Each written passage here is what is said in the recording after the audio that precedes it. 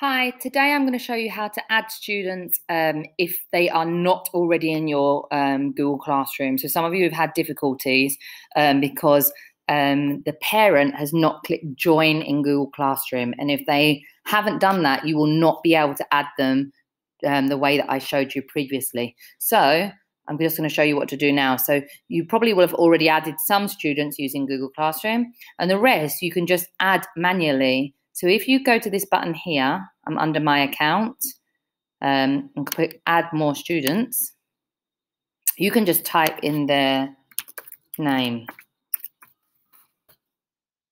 Okay, and just click continue. Make sure there's one space. If you can type a lot in, da, da, da, or you can even paste them in from uh, um, your list that you've got. You can paste the names in if you want to. Okay, I'm going to continue. Then it will ask me which one is their first name and which is their last name. And you can swap them around if you want to and confirm.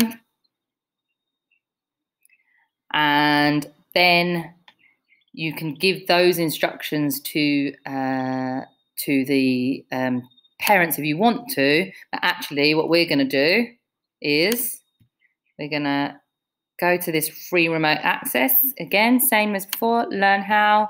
Let's go and then you're going to paste the guardian's name, uh, not name, email address as we showed in the previous um, video. So you can add them either, it ends up in the same place, whether you add them by um, Google Classroom or you just type them in. So hopefully that helps. And once you've pasted those in, don't forget to send the invites to the parents um, and you can let them let the children know about that. Okay, hope that helps.